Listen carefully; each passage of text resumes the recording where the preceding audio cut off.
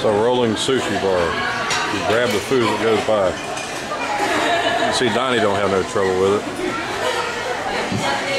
Stack up your plates and your bowls. And that's pretty much how it goes.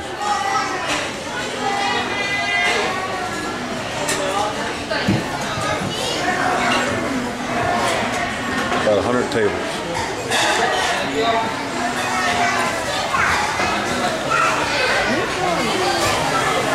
obviously all raw food.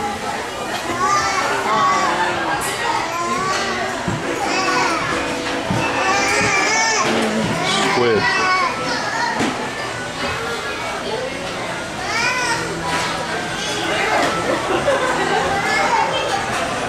It's eel.